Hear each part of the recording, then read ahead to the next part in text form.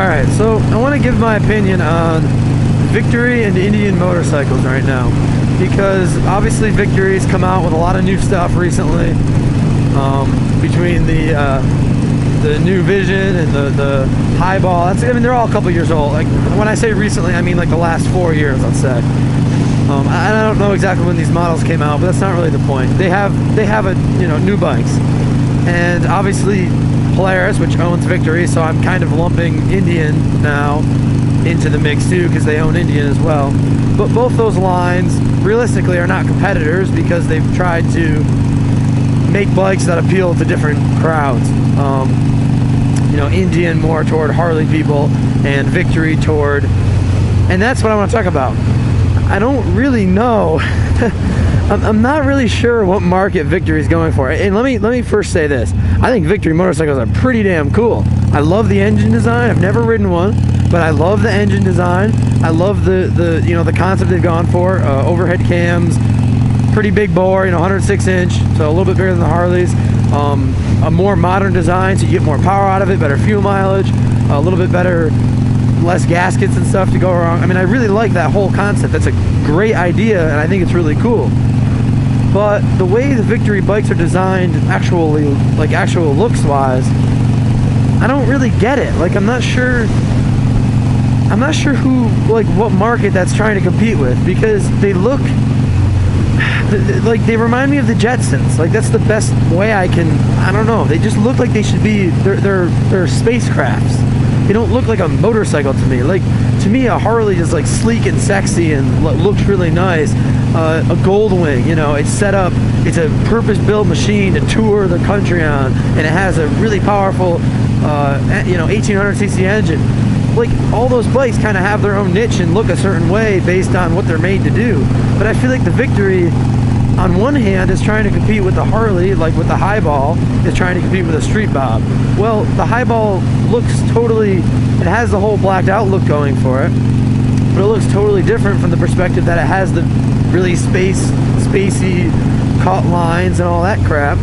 So I don't really know, I don't know who they compete with. I'm not sure who likes that style of bike. Like I don't personally like the way a Victory looks. I, I would ride one and enjoy it probably, and they're probably great bikes, and they probably have a lot of advantages over Harley Davidson. But I just I don't like the way they look. To me, they just they don't look right. I think that Victory could sell so many more bikes if they just changed the way they looked and made them look more. Um, I'm gonna say more contemporary in that they look futuristic.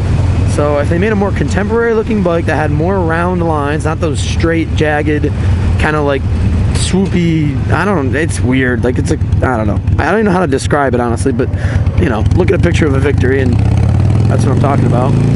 Um, but I feel like if they just had more contemporary styling, more people would buy them. I know I would look at one. Uh, like I, I would at least entertain the idea for my next bike. I'm not saying I would go, I would make the switch, but I'd, I'd take a look at one.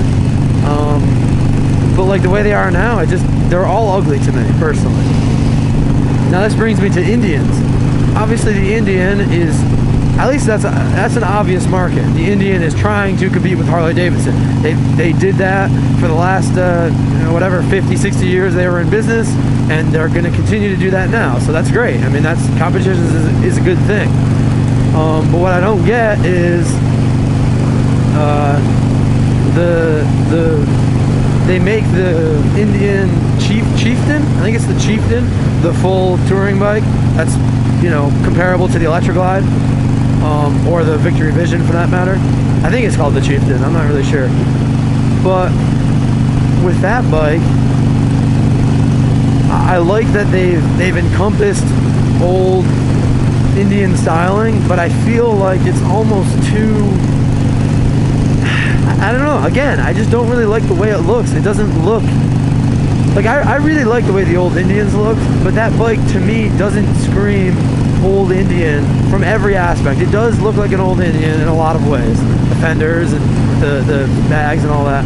But for some reason, the I don't know. The rest of the bike just looks again almost like too futuristic, which is weird to say because they're meant to look classic and you know, you know ret- retro but I almost feel I don't know. I just and that's I guess that's the thing about Harley Davidson. Like beyond any of the engine aspects, the the mechanical aspects, whatever, handling characteristics, speed, power, lean angles, any of that stuff. Beyond that, Harley Davidsons are truly the only cruiser that like looks right to me.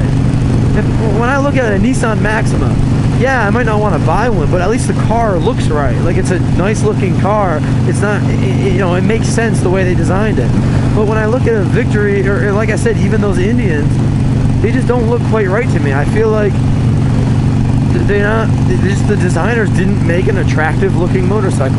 And I mean, as obviously that's just one man's opinion, but apparently a lot of people feel that way from the perspective that they haven't sold a lot of Indians and they haven't sold a lot of victories. Obviously the Indians are kind of too new to really hate on right now, but um, and, and like I said, I would ride any of these bikes and give any of them a shot. And it's not that I have anything against them. I'm just saying kind of how I feel about it. That's all. Oh, and as for the victory, I think the big problem with victories right now are they don't have a Sportster equivalent motorcycle they don't have that smaller frame size entry level bike. And the Sportster is Harley Davidson's number one best selling model. So I don't understand their marketing philosophy. If you want to attack a company and try to take market share, wouldn't you design a bike that directly competes with their most popular bike? I don't know. Now maybe in their logic they're saying, okay, less people buy these other bikes, let's try to take you know, people apparently, let's say, aren't happy with Harley Davidson touring bikes, so let's try to take those shares. Well, that makes enough sense, but I don't know. I just don't know if that's the best marketing strategy. I'm not a I'm not a accountant or a you know marketing person, so I wouldn't really know. But it just seems logical to me that if you want to compete with Harley, you build a Sportster. Basically, you just you just build a your version of a Sportster first and then build other stuff because that's what sells the most. Peace!